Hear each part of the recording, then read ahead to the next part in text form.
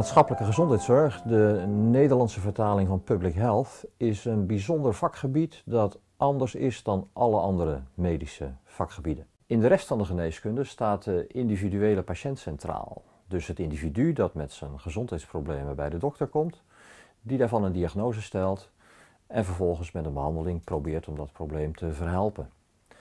De maatschappelijke gezondheidszorg doet het heel anders. Die kijkt naar een hele bevolking waarin natuurlijk de meeste mensen nog gezond zijn, probeert van ziekten die zich daarin voordoen de oorzaken te achterhalen en die dan met vaak grootschalige maatregelen weg te nemen. Met die meer radicale benadering van de maatschappelijke gezondheidszorg is in de loop van de tijd enorme gezondheidswinst geboekt.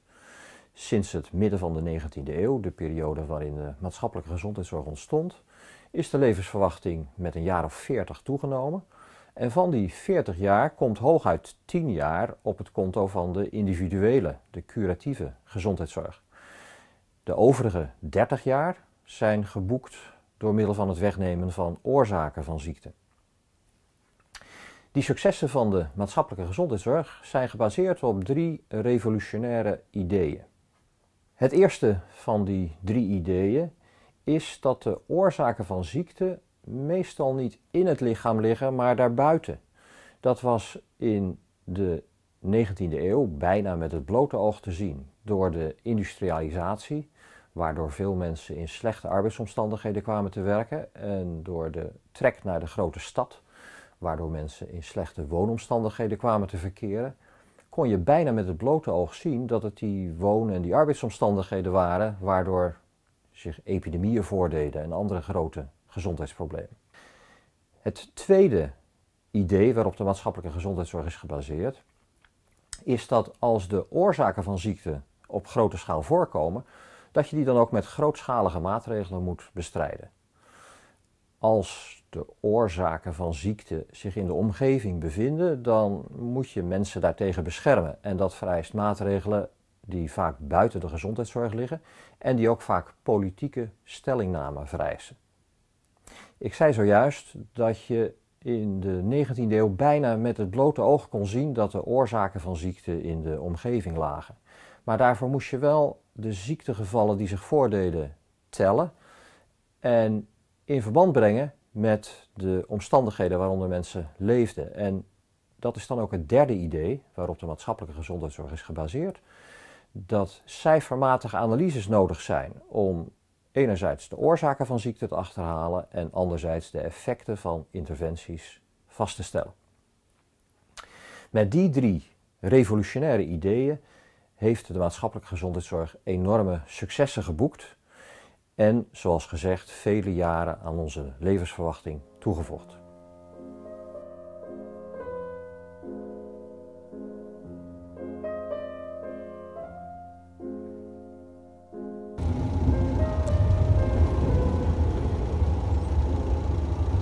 De medische wetenschap vertelt ons tot in het kleinste detail hoe ziekten in het lichaam ontstaan. Bijvoorbeeld hoe door ontsporingen in de celdeling kanker ontstaat, of hoe door atherosclerose en vaatafsluiting een hartinfarct ontstaat. Maar waar komen die ziekten nu uiteindelijk vandaan? Eh, in de maatschappelijke gezondheidszorg gaan we ervan uit dat veel ziekten hun oorsprong vinden in de omgeving. Dat was niet alleen in de 19e eeuw het geval, dat is ook nu nog steeds zo. Natuurlijk is ons lichaam niet ontworpen op een eeuwig leven en zal er misschien ooit een moment komen waarop alle ziekten verband houden met foutjes of ontsporingen in ons lichaam. Maar op dit moment leven we nog in een vijandige omgeving waarin we belaagd worden door micro-organismen of door onveiligheid op straat waarin allerlei fysische en chemische risico's in de omgeving bestaan. Uh, en waarop ook onze medemensen lang niet altijd het beste met ons voor hebben.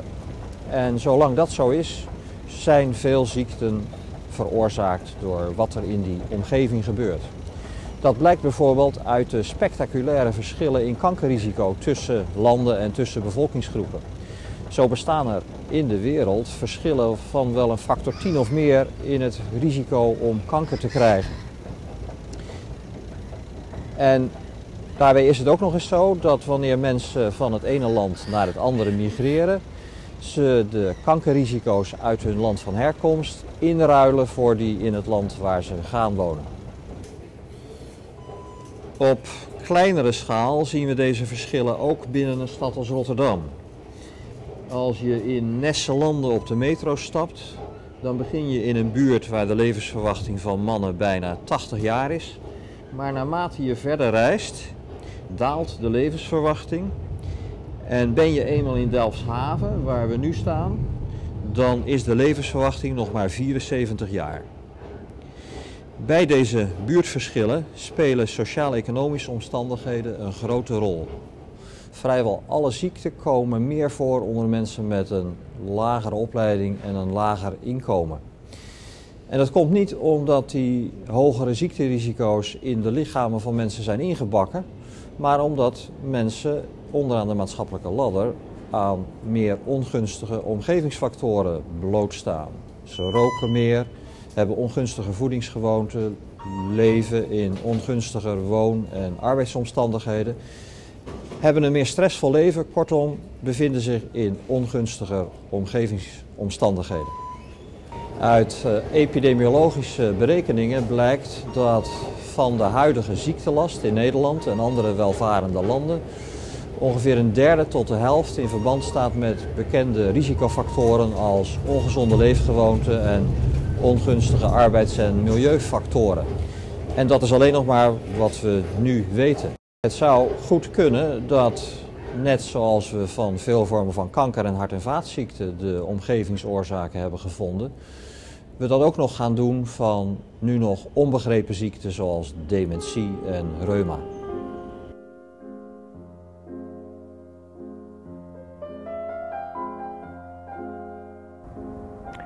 We staan hier bij een eh, watertoren die in 1875 is gebouwd als onderdeel van de drinkwaterleiding van Rotterdam.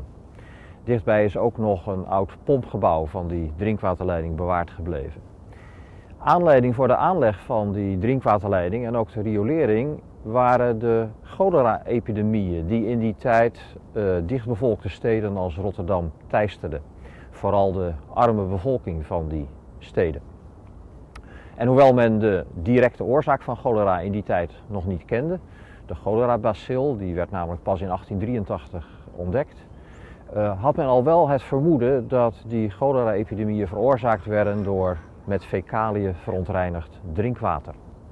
Dat sterke vermoeden was gebaseerd op epidemiologische studies als die van John Snow, uh, een Engelse arts, die ontdekte dat het verspreidingspatroon van cholera in Londen samenhing met de herkomst van het drinkwater. Dat in die tijd uit waterpompen op straat werd getapt. Cholera kwam vooral daarvoor waar dat drinkwater stroomafwaarts uit de Theems werd gepompt. Uh, en veel minder daar waar het stroomopwaarts uit de Theems kwam en dus ook minder verontreinigd kon zijn met fecaliën. Uh, drinkwaterleiding en riolering die staan symbool voor het tweede revolutionaire idee van de maatschappelijke gezondheidszorg, namelijk dat als er grootschalige oorzaken van ziekte zijn, dat je die ook met grootschalige maatregelen moet bestrijden. En dat idee dat staat nog steeds als een huis uh, en heeft zich in de loop van de tijd ook steeds verder verdiept. Zo heeft de Engelse epidemioloog Jeffrey Rose laten zien dat ook de oorzaken van hart- en vaatziekten een grootschalig karakter dragen. De uh, bloeddruk van alle Engelsen is hoger dan die van Keniaanse nomaden. En het cholesterolgehalte van alle Finnen, zo liet Geoffrey Rose zien, is hoger dan dat van alle Japanners. En dat betekende in zijn ogen dat als je iets aan de bestrijding van die risicofactoren wilde doen, dat het weinig zin had om alleen de Engelsen of de Finnen met een hoog risico te benaderen.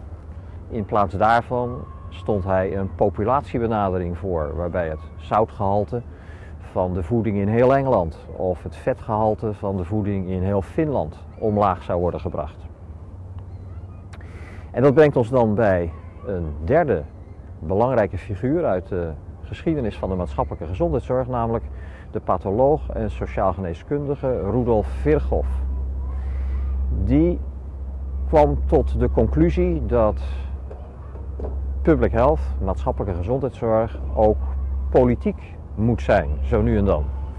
In de tijd van Rudolf Virchow was er een politieke strijd gaande over de aanleg van drinkwaterleiding. En zijn beroemdste uitspraak is: Politiek is niets anders dan geneeskunde op grote schaal. En zoals in zijn tijd drinkwaterleiding politiek was, zo geldt dat nu niet minder voor het omlaag brengen van het zoutgehalte van de voeding of de bestrijding van sigarettenroken of het bevorderen van de verkeersveiligheid.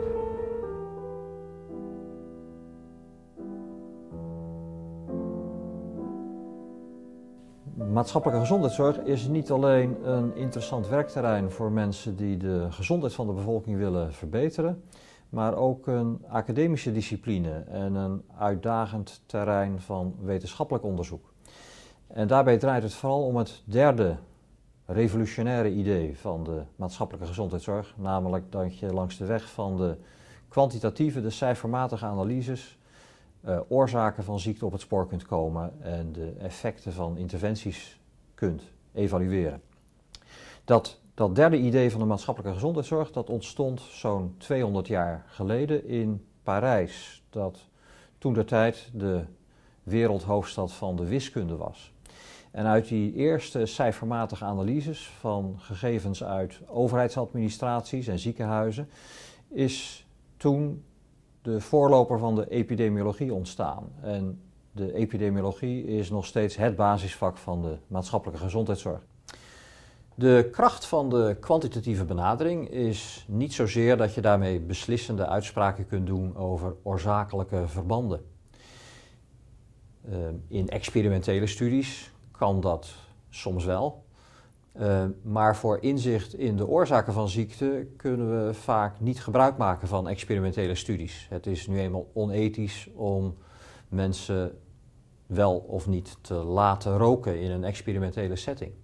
Daarvoor zijn we aangewezen op systematische observaties van mensen die uit zichzelf wel of niet roken, wel of niet zijn blootgesteld aan bepaalde omgevingsfactoren. En die observationele studies die geven meestal een minder eenduidig antwoord op vragen naar oorzakelijke verbanden. Maar daar staat tegenover dat ze gebaseerd zijn op wat je in de realiteit van alle dag ziet. Uh, en dat ze daardoor potentieel relevanter zijn voor uh, interventies om de gezondheid van de bevolking te verbeteren dan de resultaten van allerlei laboratoriumonderzoek. De voorbeelden van kwantitatieve analyses die hebben bijgedragen aan daadwerkelijke bevordering van de gezondheid van de bevolking zijn legio. En veel daarvan hebben ook hun weg gevonden naar de medische toptijdschriften. Vrijwel alle successen van de maatschappelijke gezondheidszorg zijn gebaseerd op grondige en vaak ook geavanceerde kwantitatieve analyses. Dat geldt voor de bestrijding van sigarettenroken, voor de verbetering van woon- en arbeidsomstandigheden, voor de bestrijding van aids en andere infectieziekten en voor de invoering van bijvoorbeeld het bevolkingsonderzoek op borstkanker en baarmoederhalskanker. En zo hopen we ook de uitdagingen van de 21ste eeuw onder de knie te krijgen. Denk daarbij bijvoorbeeld aan de epidemie van overgewicht en die van dementie. In het verlengde hiervan heeft de maatschappelijke gezondheidszorg ook veel te bieden aan de curatieve, individuele gezondheidszorg. Want als die de ambitie heeft om effect te hebben op de gezondheid van de bevolking, dan moet die deels gebruik maken van dezelfde principes en dezelfde kwantitatieve methoden. Dat geldt bijvoorbeeld voor de invoering van nieuwe vormen van diagnostiek en nieuwe behandelingen. En het geldt voor terreinen als kwaliteit van zorg en patiëntveiligheid.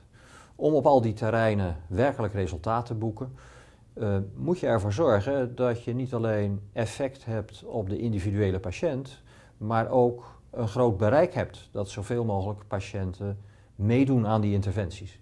En daarvoor heb je dezelfde principes en dezelfde kwantitatieve methoden nodig als we in de maatschappelijke gezondheidszorg gebruiken. Ziekten vinden dus vaak hun oorsprong in de omgeving. Om ziekte goed te bestrijden zijn vaak collectieve maatregelen nodig. En dat alles moet worden onderbouwd door kwantitatieve analyses. Deze drie ideeën vormen samen het fundament van de maatschappelijke gezondheidszorg, die daarmee een even origineel als ook aantrekkelijk werkgebied is. Aantrekkelijk voor iedereen die een bijdrage wil leveren aan een betere en rechtvaardiger wereld met minder ziekte. De maatschappelijke gezondheidszorg houdt zich niet bezig met dweilen met de kraan open, maar probeert oorzaken van ziekte met wortel en tak uit te roeien.